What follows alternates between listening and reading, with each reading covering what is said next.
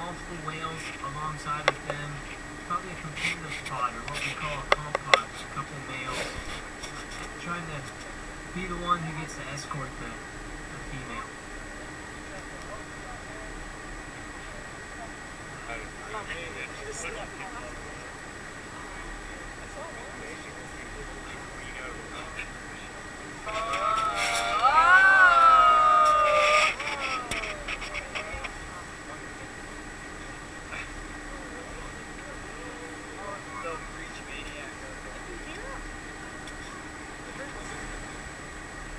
Oftentimes what you have is if you see a calf like that, a little guy, you can be pretty assured the mother is nearby.